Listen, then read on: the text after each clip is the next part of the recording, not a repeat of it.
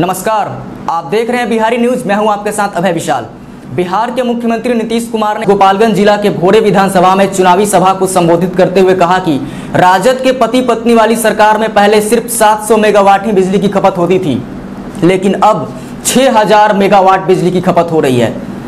इसके अलावा उन्होंने राजद के 10 लाख नौकरी देने के वादों पर भी जमकर तंज कसा। आइए देखते हैं क्या कहा नीतीश कुमार ने चुनावी जनसभा को संबोधित करते हुए। अभी कोरोना के चलते जो चुनाव का समय है, इसको बहुत सीमित रखा गया है। पहले जो चुनाव होता था, इतना समय होता था कि हर जगह हम लोग ज़रूर चले जाते थे। अब ये तो असंभव है कि हर जगह पहुँच सके। लेकिन इस धरती पर आने का मौका मिला। इस जिरादेई विधानसभा क्षेत्र में मैं सबसे पहले राजेंद्र बाबू की धरती का मैं नमन करता हूँ। ऐतिहासिक भूमि का नमन करता हूँ और आप सब लोगों को मैं हृदय से धन्यवाद देता हूँ।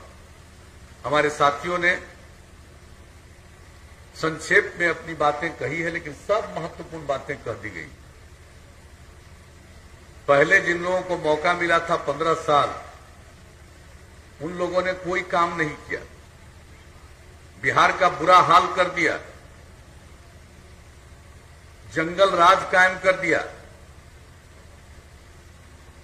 ऐसी ऐसी घटनाएँ घट रही थी, सामूहिक नरसंहार की,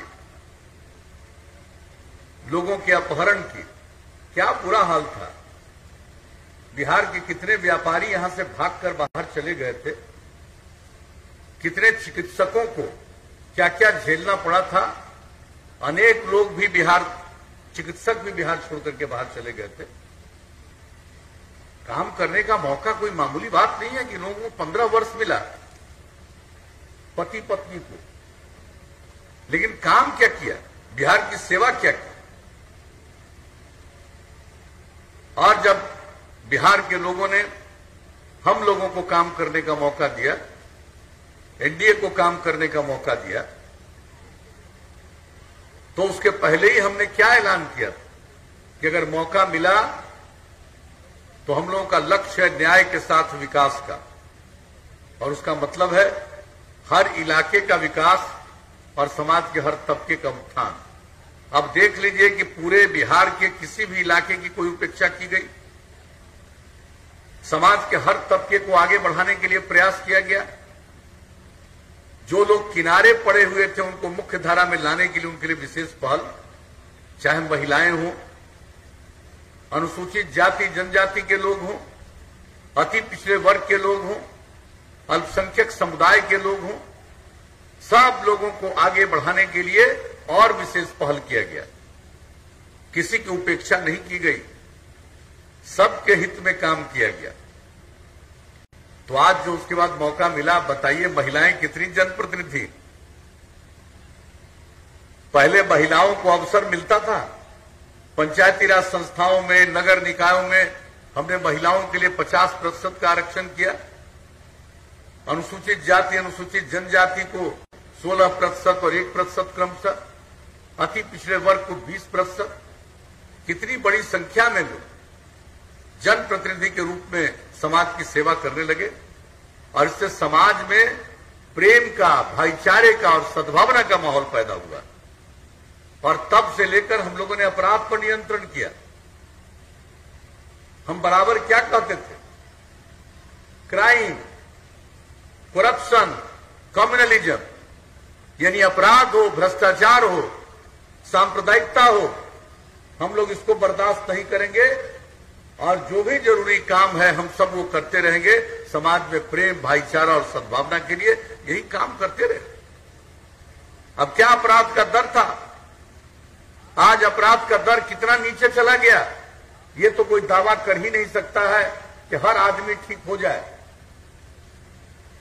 कुछ न कुछ तो बाएँ दाएँ इधर उधर गड़बड़ करने वाला लोग होता ही है। लेकिन इन सब चीज़ों के बावजूद अपराध का दर कितना नीचे चला गया, केंद्र सरकार के द्वारा प्रकाशित होता है। हर राज्य का जो अपराध का आंकड़ा है, अब उस आंकड़े के आधार पर राष्ट्रीय अपराध अभिलेख ब्यूरो के द्वारा 2018 का जो आखिरी अभी प्रकाशित हुआ उसके मुताबिक अब बिहार अपराध के मामले में कितना नीचे चला गया इतनी बड़ी आबादी का और इतना बड़ा राज्य, लेकिन अपराध के मामले में तेईसवां नंबर हो गया। हम लोगों ने विकास का काम किया। अब पहले बिहार का क्या था? राज्य सकल घरेलू उत्पाद के माध्यम से जो यहाँ की परिसंपत्ति थी छिहत्तर हज़ार चार सौ छियासठ करोड़। अब वो बढ़ करके चार लाख सत्रह हज़ार नौ सौ सतहत्तर करोड़। यानी अब सोच लीजिए कि कितना विकास का काम हुआ। यानी बिहार के विकास दर में बारह दशमलव आठ प्रतिशत की वृद्धि प्रतिवर्ष और आम आदमी के आमदनी में साढ़े दस प्रतिशत की वृद्धि। ये सब काम हम लोगों ने किया है। कितना सड़क बनवाया, कितना स्कूल बनवाया, लड़की पढ़ नहीं पाती थी, पोशाक योजना, साइकिल योजना, अब कितनी लड़कियाँ पढ़ने लगी? महिलाएँ कितनी जनप्रतिनिधि हैं? महिलाओं को और ज़्यादा जागरूक करने के लिए हमने जीविका समूह का गठन किया वर्ल्ड बैंक से कर्ज लेकर के। और जो जीविका समूह का गठन किया, दस लाख का मेरा लक्ष्य था, दस लाख का लक्ष्य पूरा हो गया। अब उसके आगे जा रहा और एक करोड़ बीस लाख से ज़्यादा महिलाएँ जीविका समूह से जुड़ गई। कितनी उनमें जागृति आई है? परिवार की आमदनी कितनी बढ़ रही है? एक एक काम के लिए हम लोगों ने काम किया समाज के उत्थान के लिए। और जो हम तो बात कर रहे हैं मिडिल स्कूल और हाई स्कूल का, लड़कियों की संख्या तो हाई स्कूल में इतनी कम, इतनी बड़ी आबादी में एक लाख सत्तर हज़ार, से भी कम। और अब लड़के और लड़कियों की संख्या बराबर हो गई।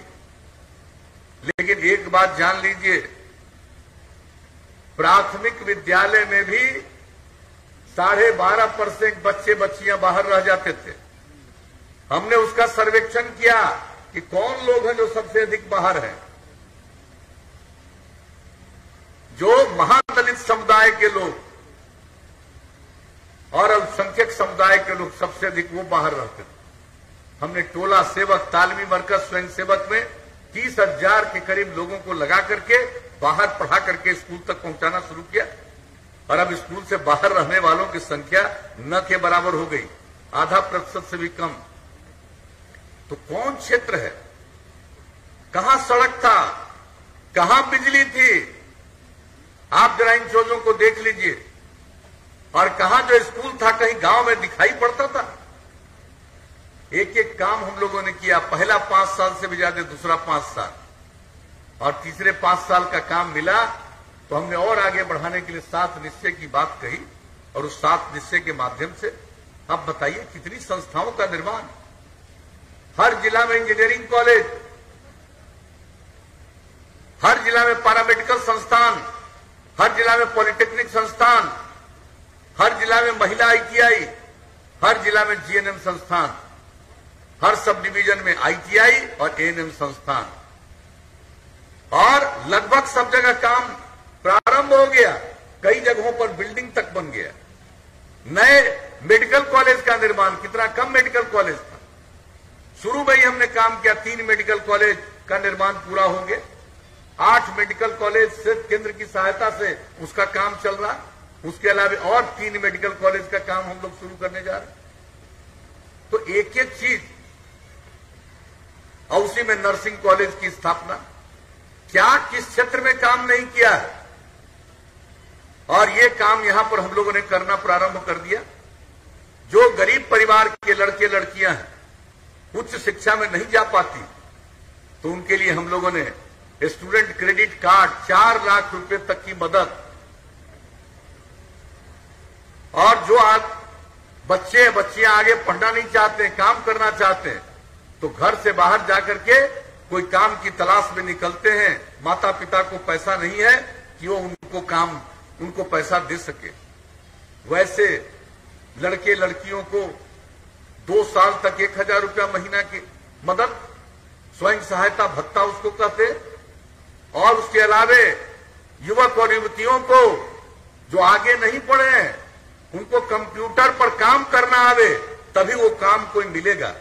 हमने इसके लिए कुशल युवा कार्यक्रम शुरू किया, कंप्यूटर पर काम करना सीख लिया, बातचीत करना सीख लिया, व्यवहार कैसा होना चाहिए सिखाया गया।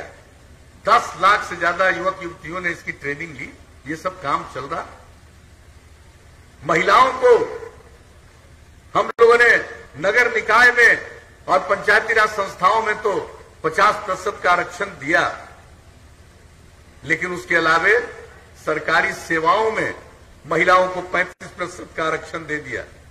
पुलिस बल में महिलाओं को 35 प्रतिशत का आरक्षण। पहले यहाँ के पुलिस बल में आपको महिलाएँ नहीं दिखती थी। अब आपको पुलिस बल में महिलाएँ इतनी दिखती है, शायद ही किसी राज्य में उतनी दिखे। तो ये सब जो महिलाओं का उत्थान हुआ, इन सब चीज़ों को गौर से याद करिएगा। महिलाओं को 35 प्रतिशत का बाकी सभी सरकारी सेवाओं में। अब कितनी बड़ी संख्या में महिलाएँ सरकारी सेवा में आने लगी। जब शुरू किया था हम लोगों ने स्कूल वाला काम तो स्कूल में तो प्राथमिक स्कूल में तो 50 प्रतिशत का आरक्षण हमने महिलाओं को दिया था प्रारंभ में। तो ये सब काम जो किया, और इसके अलावे बिजली तो नहीं थी, हमने क्या तय किया था?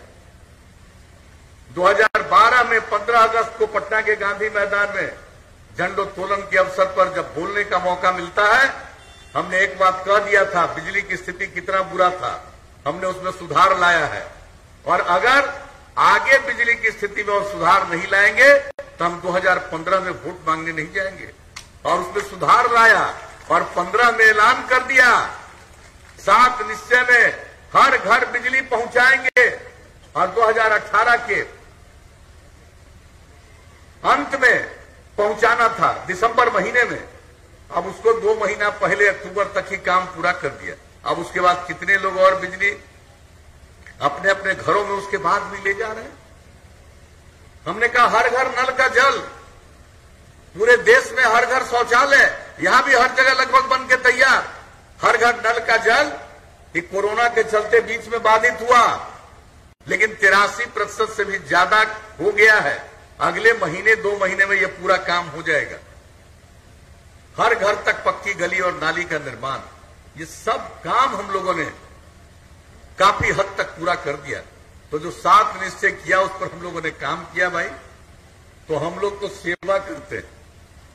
कुछ लोगों को अपना परिवार सब कुछ है। हमारे लिए पूरा बिहार एक परिवार है और पूरे बिहार की सेवा करना ही हमारा धर्म है। और इसी को लेकर हम आगे काम करते आ रहे हैं। इतने दिन से मौका मिला, कभी हमने अपने बारे में कुछ सोचा है? हर समय हमारी एक ही चिंता रही है कि हमारे समाज में प्रेम और भाईचारा रहे और समाज आगे बढ़े, बिहार आगे बढ़े। हमने कई बातों की चर्चा कर दी। और अब आगे अगर मौका दीजिएगा तो हम आपके बीच में इतना ही कहने आए कि अब हमने आपको हर घर बिजली तो पहुँचा ही दिया अब पहले जब इनको पंद्रह साल मौका मिला पति पत्नी राज में, शहर में भी नाम मात्र की बिजली। पूरे बिहार में इतना बड़ा राज्य, मात्र मात्र 700 मेगावाट बिजली की खपत थी। और अब हर घर बिजली पहुँचा दिया 6000 मेगावाट से ज़्यादा बिजली की खपत हो रही है। तो हम लोग तो ये सब काम कर ही रहे हर घर बिजली पहुँचा दिया।